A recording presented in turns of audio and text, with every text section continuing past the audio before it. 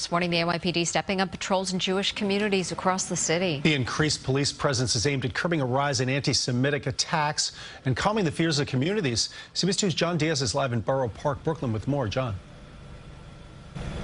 Good morning to both of you. Well, the NYPD's Hate Crimes Task Force is actively looking into this latest anti-Semitic attack. The NYPD telling us that it happened on Saturday, a Sabbath day for this community. Anti-Semitism has to be stopped immediately.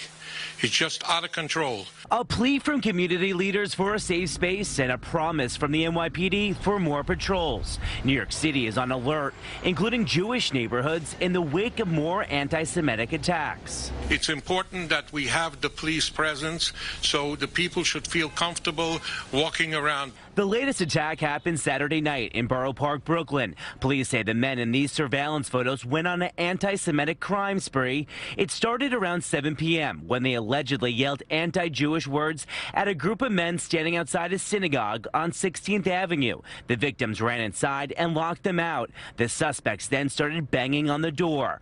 45 minutes later, they assaulted two teenagers walking on Ocean Parkway off 18th Avenue. They demanded the two say anti-Jewish statements. When they refused, the suspects beat them, holding one victim in a chokehold. One suspect chased after them with a baseball bat as they escaped. There is a stain of anti Semitism that still lurks in this city, in this country, around the world. The mayor says that has to stop. Over the weekend, he and NYPD Chief of Department Rodney Harrison met with Jewish community leaders to discuss ways to keep neighborhoods safe. Anybody who breaks the safety of this community and attacks people because who they are must be punished. On Sunday, hundreds rallied in lower Manhattan against anti Semitic attacks abroad and here at home. There are now 63 reported anti Jewish attacks in New York City this year, compared to 60 the same time period last year. Locals questioned